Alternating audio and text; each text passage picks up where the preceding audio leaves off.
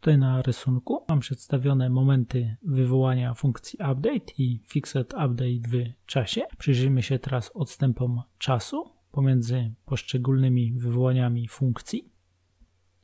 W klasie time mamy kilka wielkości, które pozwalają nam odczytywać wartości odstępów czasowych. Omówię je teraz. Przejdźmy tutaj jeszcze. Na początek tak. Time delta time. Ta wielkość zwraca nam czas potrzebny do wyrenderowania ostatniej klatki, liczony w czasie gry, czyli time.time. Jest obliczana na podstawie czasu time.time. Dodam tu jeszcze, że z racji tego, że delta time jest obliczana na podstawie czasu time.time, to na tą wielkość będzie wpływało skalowanie naszego czasu, jak i wydajność naszej aplikacji. Teraz Wam pokażę, jakie to zwraca wartości. Przejdźmy do Unity. Tutaj zwracam te wartości. Widzimy, że mamy duży rozrzut z racji tego, że w chwili obecnej mamy duże skoki ilości FPS-ów. Tym samym po prostu mamy różne czasy potrzebne do wyrenderowania jednej klatki. Czy jest jakieś ograniczenie tej wielkości? Tak. Tutaj wspominałem Wam o wielkości Maximum Allowed Time Step, które wpływało właśnie na time.time i jeśli maksymalny czas związany z renderowaniem naszej klatki miałby przekroczyć tą wartość, to po prostu czas był zatrzymywany. Z racji tego, jak tutaj na przykład zmienimy na 3 fps około, żeby właśnie takie było ograniczenie, to widzimy, że tutaj wskazuje maksymalny czas równy temu czasowi, więc jeśli ten czas zmienimy, zmieniam tutaj minimalnie, Widzimy, że po prostu teraz może wyświetlać większe wartości. Do czego w ogóle potrzebujemy właśnie tej wielkości time delta time? Ogólnie jest ona nam potrzebna do tego, aby uniezależnić ruch w naszej grze od ilości FPS-ów. Zaraz Wam pokażę prosty przykład. Najpierw omówię taki tutaj fragment kodu, abyście lepiej to zrozumieli. Teraz taka mała dygresja tego skryptu nie wykorzystuję nigdzie. Służy mi tylko do tego, aby pokazać, jak powinny wyglądać zapisy z różnymi deltami. Więc jak będziecie chcieli przesuwać obiekty na te sposoby, po prostu musicie odpowiednio skonstruować skrypt. To tyle tak wstępu.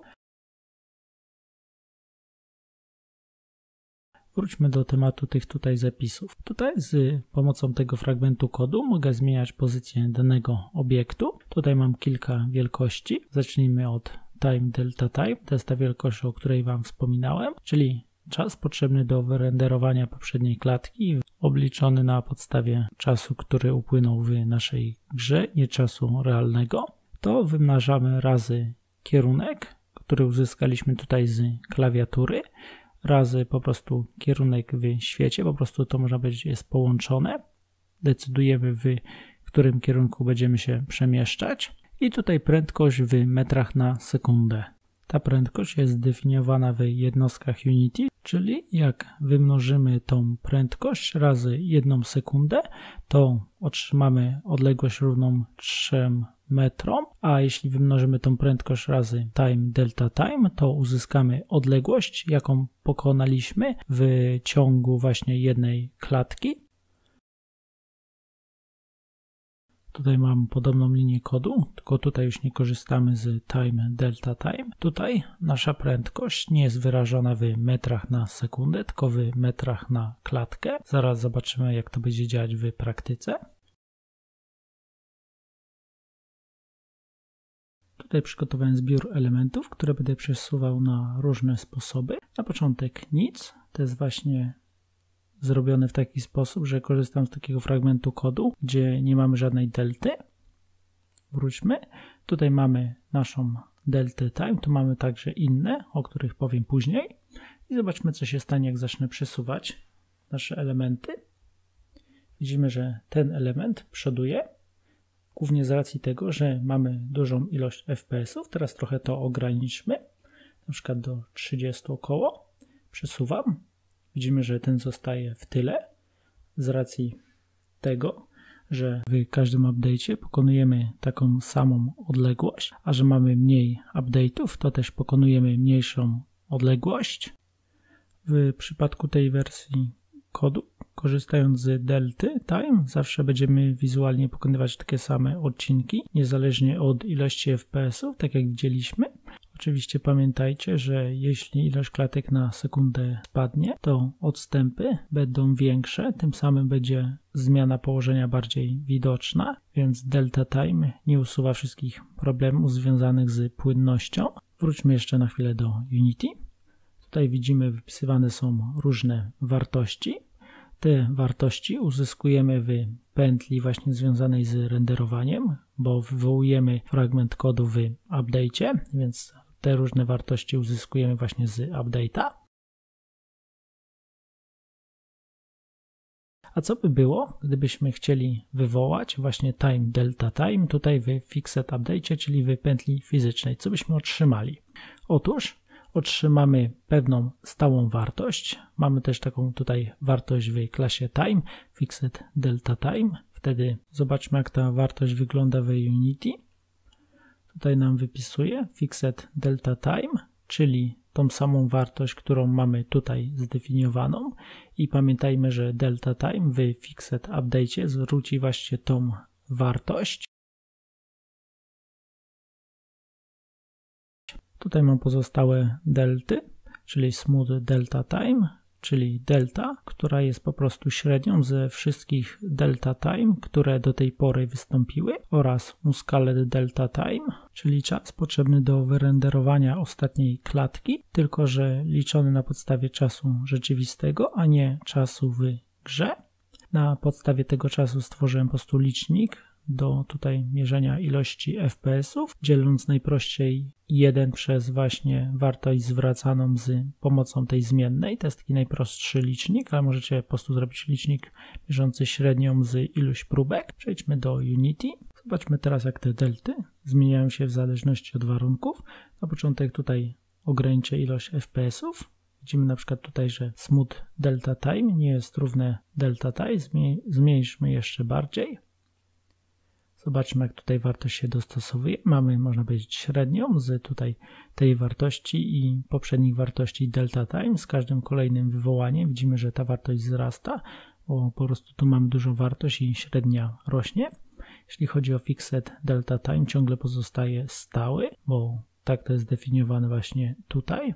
Tu mamy naszą skalę delta time, czyli rzeczywisty czas potrzebny do wyrenderowania ostatniej klatki. Teraz przyjrzyjmy się, jak właśnie przepływ czasu wpływa na te wielkości. Na początek tutaj zatrzymam nasz czas. Widzimy, że delta time i smooth delta time przyjęły wartości 0, a w przypadku tutaj tych wielkości pozostały takie jak przed zmianą. Zmieńmy na teraz coś innego. Teraz widzimy, mamy minimalnie większą od zera wartość, czyli widzimy, że po prostu wpływając na szybkość przepływu czasu, wpływamy też na te właśnie tutaj delty. Teraz taki test. Tutaj ustawiłem przepływ czasu na wartość 0,1, czyli po prostu będziemy mieli spowolnienie. Zobaczmy teraz, jak będą poruszały się obiekty z pomocą różnych delt. Na początek widzimy tutaj nic i scalet delta time poruszają się dużo szybciej niż pozostałe. Nic to wiadomo było po prostu przesuwa się w zależności od ilości klatek na sekundę. Jeśli chodzi o skalę delta time, to po prostu nie wpływa na nas właśnie time scale. To może być dobre na przykład gdybyście mieli postać, która na przykład spowolniła czas, a właśnie to spowolnienie na nią nie wpływa. Teraz zwróćmy uwagę na fixed delta time. Widzimy, że porusza się w sposób taki przerywany z racji tego, że właśnie to jest wywoływane w stałych odstępach czasu. Jeśli chodzi o smooth delta time i delta time, widzimy, że mamy płynny ruch. Z czego powinniśmy korzystać? Ze smooth delta time czy delta time? To zależy. Ogólnie tutaj widzimy, że mamy duże skoki. Jeśli mamy duże skoki, polecam bym korzystanie z delta time, bo przy właśnie obliczaniu średniej właśnie duże skoki mogą mieć wpływ, przez to możemy mieć właśnie też taki kanciasty ruch. Tutaj tego nie widać, ale takie przypadki mi się zdarzały, więc ogólnie wybierajcie to na podstawie tego, jak będzie wyglądał wasz obraz. To jest najlepsze właśnie kryterium. Teraz Wam powiem, jak działa zmienna Capture Frame Rate, czyli wielkość, która ułatwia nam robienie print screenów i zgrywanie obrazu z naszej aplikacji.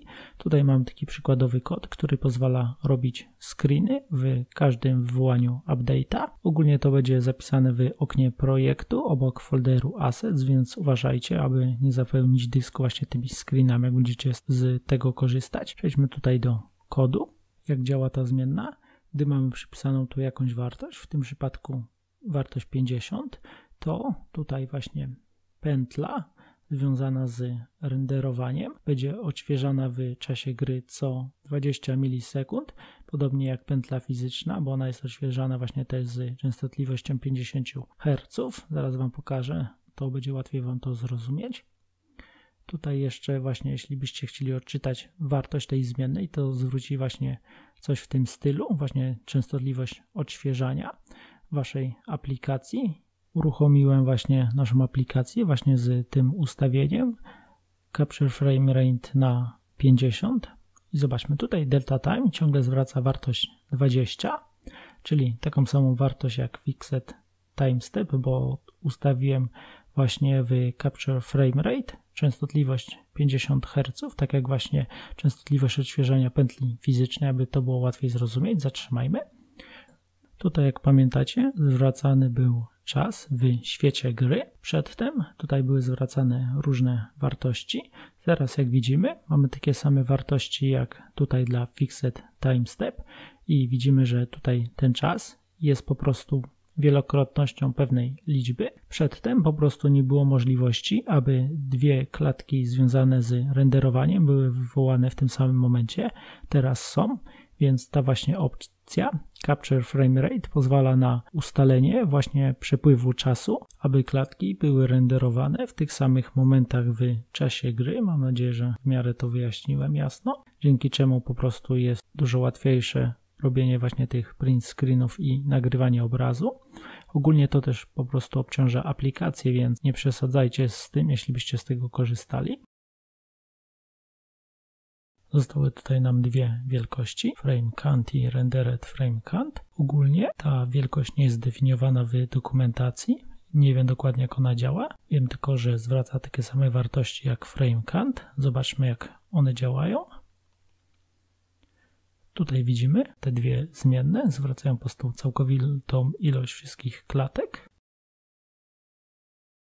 Tutaj jeszcze takie małe podsumowanie. Ogólnie po tym odcinku usiądźcie właśnie tutaj z tym wykresem i się mu dokładnie przyjrzyjcie, aby sobie tak lepiej uzmysłowić, jak właśnie przebiega ta cała pętla, co tu się znajduje, od właśnie rzeczy związanych z fizyką, po korutyny, czy tutaj animację, tak żebyście po prostu mieli mniej więcej pojęcie, jak mniej więcej działa cała ta petla związana właśnie z wszystkimi tutaj funkcjami. To jest dość trudny temat, więc nie dziwcie się, jeśli będziecie mieli problem ze zrozumieniem tego. Jeszcze do tego później wrócę i to tyle.